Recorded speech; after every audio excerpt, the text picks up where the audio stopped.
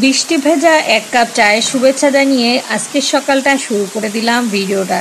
আর এই যে সকালবেলা বৃষ্টিতে ভিজিয়ে আজকে চা খেলাম বারান্দায়। আসসালামু আলাইকুম বন্ধুরা, কেমন আছেন সবাই? সব জায়গায় সারা বাংলাদেশে বেশ ভালো বৃষ্টিপাত হচ্ছে বেশ কিছুদিন পরে। আর এই যে ঝড়ো হাওয়া বইছে, সেটাও কিন্তু খুব ভালোই লাগতেছে। কারণ যদিও আমরা অনেক উপরে থেকে উপভোগ করতেছি, কিন্তু উপকূলীয় অঞ্চলে যারা থাকে, তারা হয়তো বা খুবই কষ্টে আছে।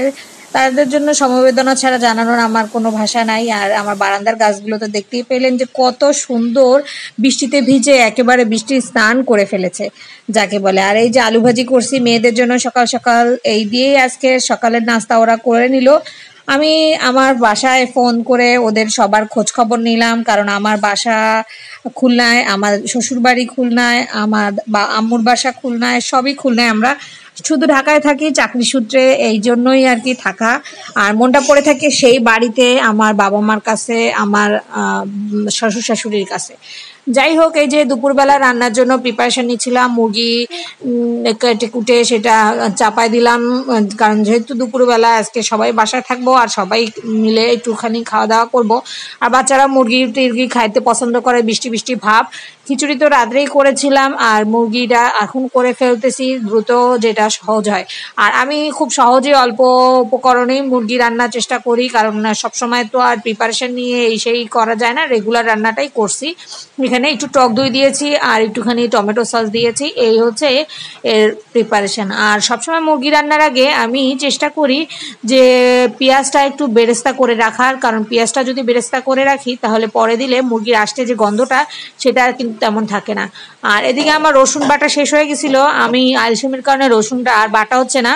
তাই শিল নোড়ার যে নোড়াটা থাকে, ওইটা দিয়ে আমি সেই কয়েকটা ছেঁচা দিয়ে কয়েকটা রসুনের কোয়া, বড় রসুনের কোয়া দিয়ে সেটাই আমি রান্না করতেছিলাম। যেহেতু মুরগি, কষাতে কষাতে দেখা যাবে যে রসুনটা গলে যাচ্ছে, আর যেহেতু বড় রসুনের কোয়া কিন্তু সিদ্ধ হইতে খুব একটা সময় লাগে না, ছোট রসুন হইলে হয়তো বা একটু সময় লাগতো।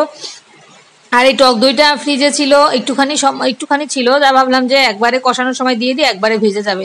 আমি ভাই শর্টকাটে রান্না করতে পছন্দ করি, আমার যেমন মনে হয়, আমি খুব গুছায়ে কাজ করা খুব একটা পারিও না আর করতেও পারি না। আর কিছু নিজস্ব দায়িত্ব থাকে, বাচ্চাদের পড়ানো ঘর দুয়ার গোছানো, সাথে আমার ফ্যামিলি আমার শ্বশুর বাড়ি আমার মা, বোন, এদেরও কিছু সময় দিতে হয়।